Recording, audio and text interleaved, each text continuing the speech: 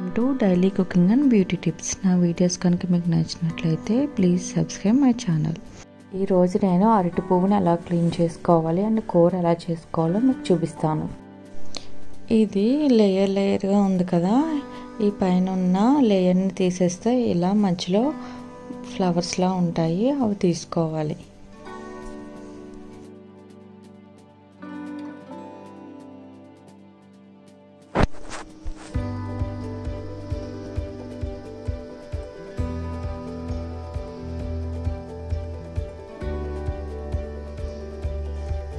ఇలా లాస్ట్ వరకు ఎన్ని ఉంటే అన్ని తీసుకోవాలి.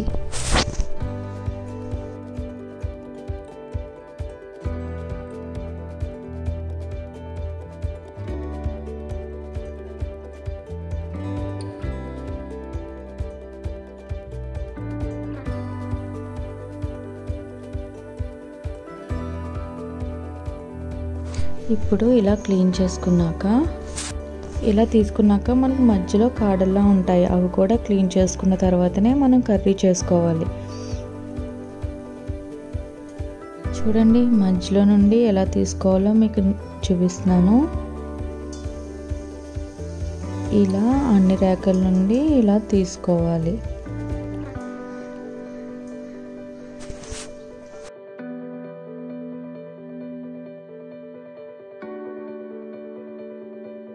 ఇలా నీట్గా మొత్తం అంతా క్లీన్ చేసుకోవాలి.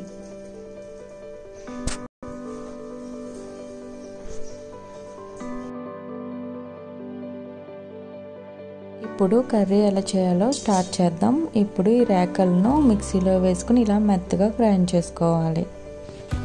మిక్సీ చేసుకున్నాక ఈ పేస్ట్ని వాష్ చేసుకోవాలి. ఎందుకంటే దీనిలో ఉన్న జిగురు మొత్తం పోవాలి.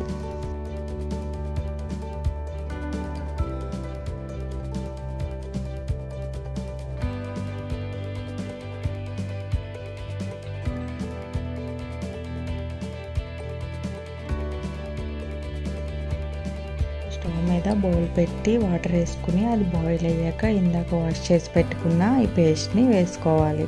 ఇలా టెన్ టు ఫిఫ్టీన్ మినిట్స్ బాగా బాయిల్ అవ్వాలి. బాయిల్ అయ్యాక చల్లారాక దీంట్లో ఉన్న వాటర్ అంతా తీసేయాలి.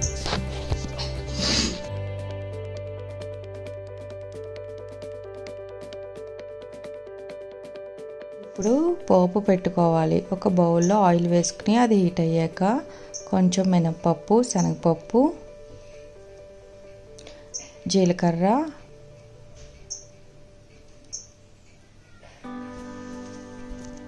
ఆవాలు పచ్చిమిరపకాయలు ఎండుమిరపకాయలు కరివేపాకు వేసుకుని వేయించుకోవాలి.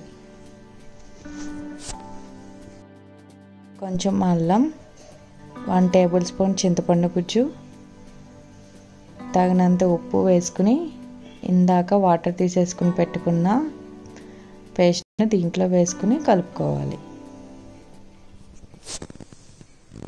ఇప్పుడు మీకు ఎంతో రుచికరమైన అరటి పువ్వు కూర రెడీ.